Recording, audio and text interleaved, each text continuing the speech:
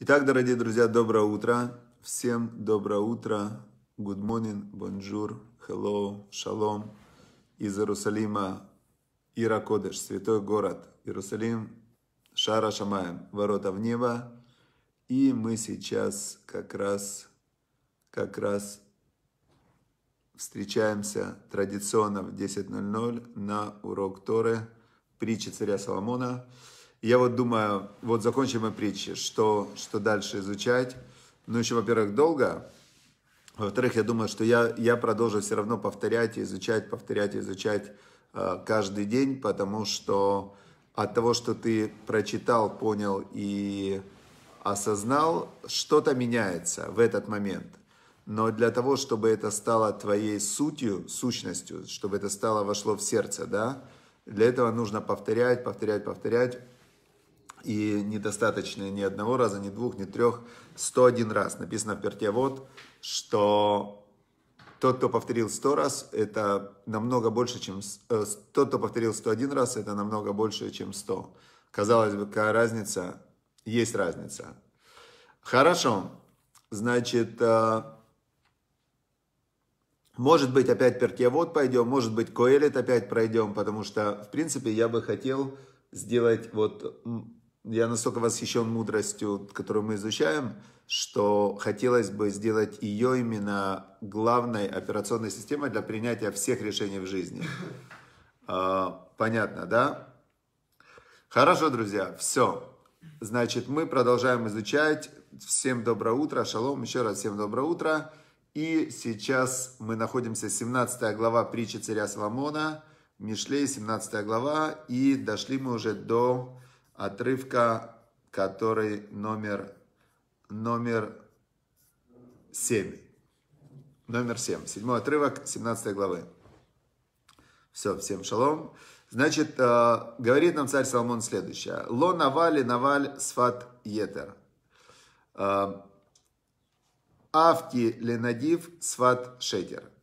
Значит, говорит он следующую вещь нам. Не, э, не, наве это не красиво, как бы не, некрасиво, не подходит, вот так можно так сказать, не подходит, да, не подходит э, Наваль. Кто такой Наваль? Наваль э, переводят, вообще Наваль это такой плохой человек, Наваль это плохой человек, но вот когда мы говорим, эх, это плохой человек, мы, там много оттенков, да, когда один другому говорит, вот он плохой человек, что имеется в виду? Малбим объясняет, что в этом отрывке противопоставлены два, два качества – Э, доброе утро, Миша, всем привет. Э, то есть мы можем из второй части этого отрывка понять, кто такой первый. Смотрите, есть, давайте полностью как переводится отрывок. Не подходит Навалю, вот этому плохому человеку, речь э, Етер, речь Етер это как избыточная, да, которая что-то обещает, что-то дает другим людям. Ав Тиленадив так же, как не подходит надиву, надив это человек, который э, дает. От слова надева это тот, кто дает другим людям, очень много дает другим людям. Э, надева это как добровольное, вот было жертвоприношение, это надева называлось. Есть люди, которые дают, они всем хотят дать э, пользу, добро, деньги, какие-то подарки. Вот э, мы, например, в свое время с моим братом Михаилом очень близко общались и были в, в окружении Александр Борисович Фельдман. Вот он яркий пример Надив. А, Надив это человек, который всем хочет помочь, добрый, вот такой прям добрая душа. Так ему, этому Надиву, говорит царь Соломон, а, Сфат Шетер, ему обман не подходит. Значит, смотрите, что получается. А, по объяснению Малбима, да, был такой мудрец, он говорит так, что есть люди, которые Наваль называется. Наваль это наоборот тот, который никому ничего давать не хочет. А, от этого же корня слово навела падаль, да. Он такой а, падальщик, вот как диена такая, да, он у все забирает, он а, никому ничего давать не хочет. Знаете, есть такие люди, вот э, редиска их называли, редиска плохой человек. И вот этот вот Наваль, если он начинает говорить красивые какие-то вещи, если он начинает э, кому-то что-то обещать, это ему не подходит, не сходится. То есть его, его сущность не сходится с его красивыми словами. Теперь э, и также вот этому надиву доброму, ему не подходит обман. Вот здесь есть очень одна интересная такая штука. Человек, э, который очень добрый, и он хочет всем помочь, он иногда попадает в ситуации, когда он обещает и не делает. И люди на него надеются, люди на него полагаются. Он э, вот выдает как желаемое за действительное. То есть он э, вслух думает, он говорит, вот я тебе там помогу кому-то, да? Он в этот момент, он очень хочет помочь. Вот он прям реально в этот момент, он верит, что он поможет. И, но потом он может об этом забыть. А человек, которому он пообещал, он э, в этот момент настраивается на что-то, он обижается, он может от этого пострадать. И говорит нам царь Соломон, что вот этому Навалю, которому он дает совет, я не знаю, или если человек уже, он такой плохой человек, будет ли он слушать советы, советы царя, царя Соломона.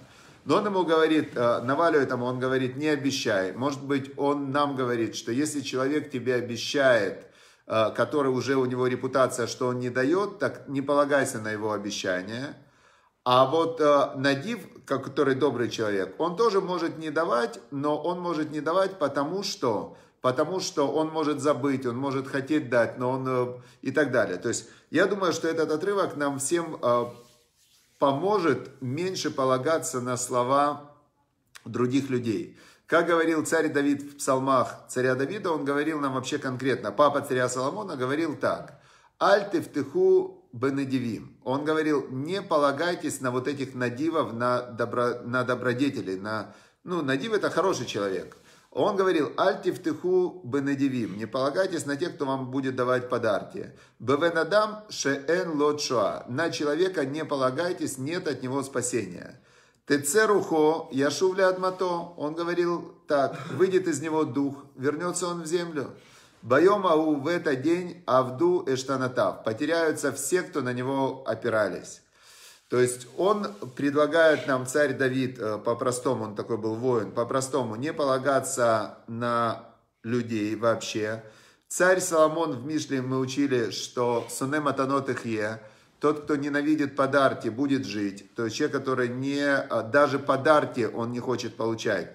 Тем более, э, тем более он не хочет полагаться на других людей, значит, ему будет в жизни в этой проще жить. А здесь он нам э, объясняет э, как бы еще вот такую интересную деталь, как работает мир. Что если человек с плохой репутацией, он говорит красивые слова, не верь.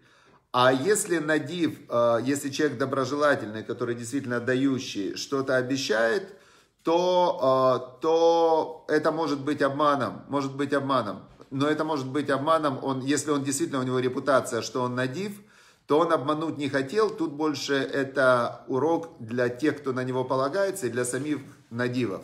Вот э, люди, которые действительно есть добрые, хорошие, которые хотят давать, нужно очень записывать свои обещания. Нужно лучше говорить обещания языком э, постараюсь, может быть, я, я там, я не знаю, с Божьей помощью, без раташем и мерцешем, если Бог захочет – Блинедер можно добавлять. Блинедер это без обета. То есть, но лучше именно не обещать вообще и делать, чем обещать и не делать.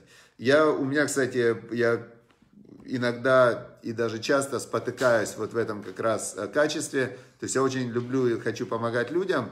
Иногда я обещаю и не делаю. Это у меня есть такая, такое качество. Но я не делаю не потому, что я не хочу сделать, а я не делаю потому, что в я, во-первых, могу забыть, раз. Во-вторых, я жду от второй стороны каких-то тоже действий, чтобы она, а, ну, например, я говорю, давай сделаем это, давай. А, ну, давай сделаем. Не я должен делать, а если вторая сторона делает свою часть, то я добавляю. А если вторая сторона не делает свою часть и даже мне не напоминает, понятно, да? В общем, этот отрывок надо всем, кого он касается, а он касается всех, потому что, э, потому что вокруг нас есть и люди, которых можно назвать Наваль, которые, Наваль это, ну, редиски, да, такие, которые никому ничего хорошего делать не хотят. И есть вокруг нас надивы, которые хотят делать, но при этом они обещают и не делают. Все, это мы разобрали седьмой отрывок, очень, очень такой часто жизненно встречающийся отрывок. Теперь восьмой вообще, восьмой это жизненный урок. Жизненный урок, и вот он, кто сейчас его послушает, э, тому, тому конечно, повезло, кто послушает, поймет и запомнит. И поэтому нас видно сегодня не так много, как было вчера. Вчера было 300 человек. А видно, Бог считает, что вот тем, кто сегодня, кого нету, им не надо было этого знать, потому что это очень, э, это очень э, инструментом с нами делится царь Соломон, который, который прямо меняет мир меняет мир, и в нем есть огромная сила. Значит, э, звучит это так. Эвенхен ашохат бейней баалав. Камень драгоценный взятка в глазах э, того, кто ей владеет. Э, Эльколь ашер ифне ястиль. В каждую сторону, в которую повернет, ястиль это он... Э, э ястиль это интеллектуально э, найдет решение. Скажем, вот если дословно перевести, сехель это интеллект, яскиль это интеллектуально найдет решение. Значит, здесь нам царь Соломон открывает э, невероятную силу взятки. Взятка это страшно сильная вещь. Как она взятка работает? Мы со взяткой впервые сталкиваемся в так вот серьезно и глубоко в главе, когда Яков, Ави, ну, отец Яков, который Израиль, да, который, который Бог ему дал имя Израиль, он э, возвращается после 22 лет отсутствия, в, он находился у Лавана, и он возвращается с четырьмя женами, с э, детьми, и навстречу ему идет его брат родной Эйсав, который идет к нему с 400 солдатами, которые хочет его убить. Значит, Якова Вину, про отец Яков, написано, что он сделал то, что должен делать, э, то есть он Израиль, это он первый, он не первый еврей, первый еврей это Авраам, потом был Ицкак, потом Яков, но он первый Израиль, да, он получил имя Израиля, то есть это самый такой вот прямо с Богом. Он делает три вещи. Первое, что он делает, он разделяет свой лагерь на две части. Он готовится к войне. То есть он говорит, если одна часть пропадет, вторая спасется. Второе, что он делает, он начинает молиться. Он начинает молиться и просить Бога. Он Богу говорит, что я все понимаю, я с, только я перешел реку, у меня был один посох в руке, а сейчас я возвращаюсь с огромными стадами, сделал ты для меня все милосердие, но прошу тебя, спаси меня и спаси мою семью. Он начинает молиться.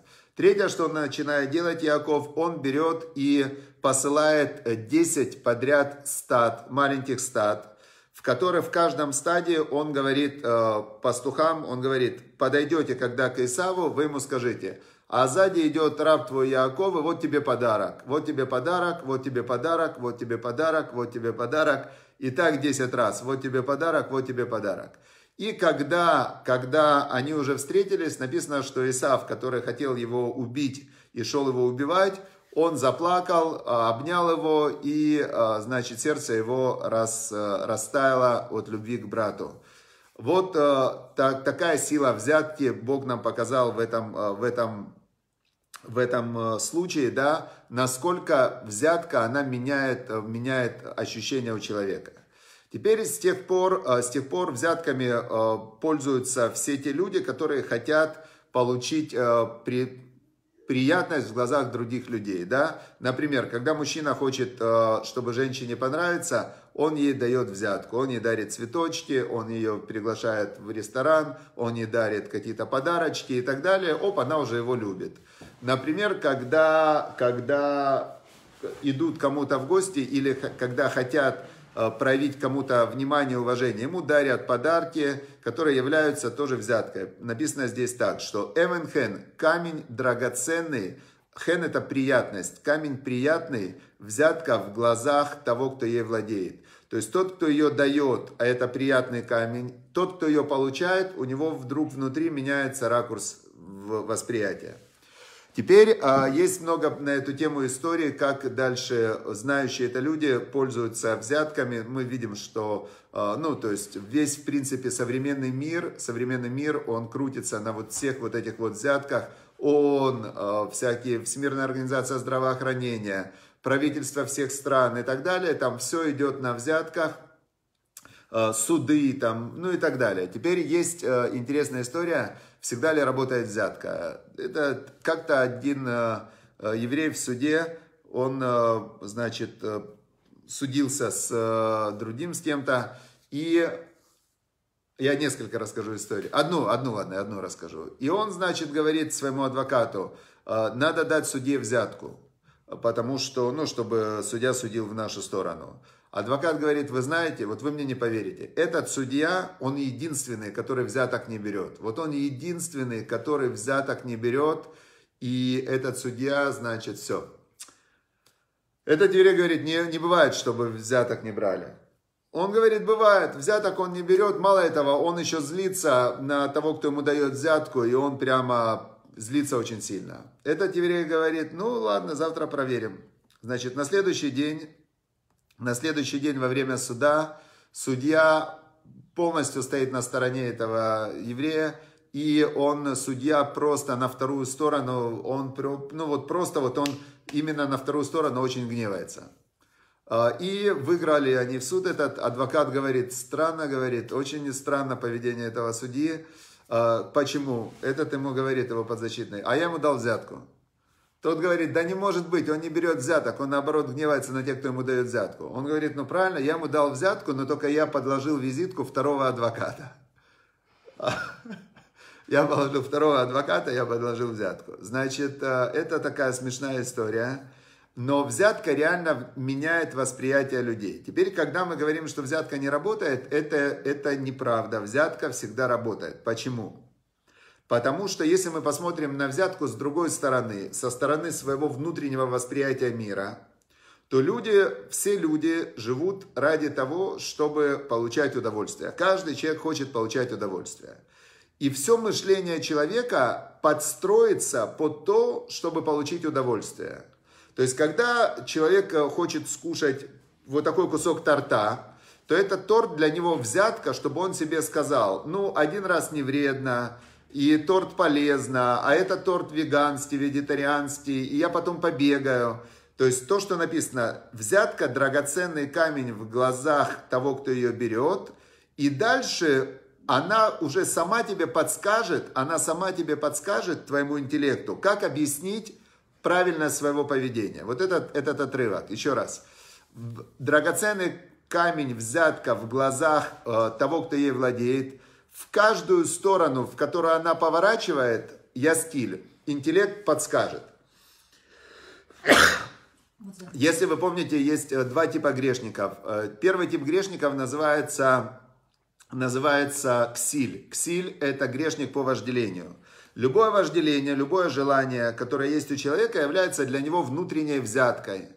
Внутренней взяткой. То есть, когда он что-то хочет получить, то это взятка, и тогда его интеллект ему подсказывает, как объяснить себе, что это можно, что это нужно и что это правильно. Понятно, да? Теперь э, второй тип грешника называется, называется Ивель, скептик. Э, Улая, может быть, он сомневается. Но это тоже взятка. То есть все мышление человека, оно повернуто его желанием. То есть все мышление человека управляется его желанием. Если человек что-то хочет, если нельзя, но хочется, то есть то, что хочется, это внутренняя взятка. Значит, можно, и интеллект подскажет тебе, как можно.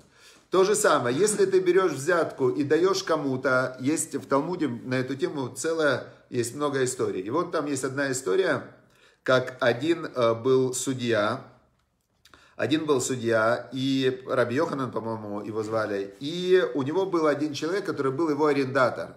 Этот арендатор снимал у него поле, арендовал, и э, как-то суд, суды были по понедельникам и по четвергам. Еврейские суды были по понедельникам, э, по понедельникам, правильно, второй день недели и пятый день недели, когда читают Тору. И съезжались в города, где были суды, съезжались с окрестных деревень и сел люди, которым нужно было э, в суде выяснить, кто из них прав, кто виноват, финансовые вопросы, хозяйственные вопросы и так далее. И вот, значит, этот арендатор приезжает, э, приезжает к нему, к Раби Йоханану, в, э, в, в, в понедельник и привозит ему, привозит ему деньги за аренду поля, которая, которая он им, привозил ему постоянно. Раби Йоханан ему говорит, а что ты привез сегодня? Ты должен был привезти там через неделю срок аренды. Тот говорит, вы знаете, я сегодня в суде э, разбираю дело со своим там одним э, партнером, и, значит, я просто сегодня уже в городе, так я буду, я буду, значит, заранее, просто вам заранее привез ваши деньги, все. Раби Йоханан говорит, нет, говорит, я не буду тебя судить в суде, а Раби Йоханан должен был его судить. Он говорит, не буду, потому что Эвенхен, взятка, камень драгоценный, взятка в глазах того, кто ее держит. Он говорит, я не буду тебя судить. Все равно у меня есть удовольствие от того, что ты мне привез деньги раньше, уже мой интеллект не работает честно. И он решил себя проверить. Он пришел к суду, и он сидел, слушал судебное заседание за дверями. И Раби Йоханан, когда его арендатор что-то говорил, он говорил, о, хорошо он сказал, правильно. Молодец. То есть он сам убедился в том, что действительно восприятие человека меняется. И в Торе прямым текстом сказал Бог, прямым текстом, Шохат и Авер Эней Хахамим. Шохат, он ослепляет глаза мудрецов. Взятка ослепляет глаза мудрецов и искривляет слова тоже мудрецов. Понятно, да? А, хорошо. Вот э, мы изучили сегодня, сегодня мы изучили, изучили мы два отрывка, очень полезных, я считаю, и очень важных в повседневной жизни. Если их запомнить и начать ими пользоваться, то первое, какой вывод можно сделать? Первое, не обещать. Не обещать, а если обещать, то делать. Это очень важно записывать. И если уже пообещал, сделай, если, а лучше не обещать. Второе, что понятно, что у нас всегда есть взятка. Вот, например, человек, который обещает, ему приятно пообещать. Он в этот момент получает удовольствие, и оно ему, его искривляет разум. Вот он в какой-то момент порыв сердца пообещал, а потом бах и не сделал. Но в момент, то есть нужно помнить, что желание, желание, эмоции – это плохой советчик. Что все решения нужно принимать с таким сухим рациональным интеллектом, убрать желания, потому что желания ослепляют разум, и когда нельзя, но хочется, человек себе э, из-за взятки хочется, он себе придумает, что можно, это как раз нам в восьмом отрывке 17 главы царь Соломон доказал, объяснил, показал, а теперь мы можем этим пользоваться. Все, всем спасибо огромное, я очень всех прошу, подпишитесь на страницу и в Инстаграме, и в Фейсбуке, и э, сделайте свои выводы и поделитесь выводами с этого урока, чтобы вы это знание, которое вы получили, еще раз внутри обдумали, написали свои три вывода и поделились, пригласили всех людей, которым важно соединиться с Богом, изучая Тору, чтобы все мы собирались. Платформа Ваикра – это место, где те люди, которые хотят обучать, и те, кто хотят обучаться, могут э, встретиться, и, значит, все вместе, единственная у нас цель – это понять, чего Бог от нас хочет, и сделать это. Все. Всем удачи, успехов, хорошего дня.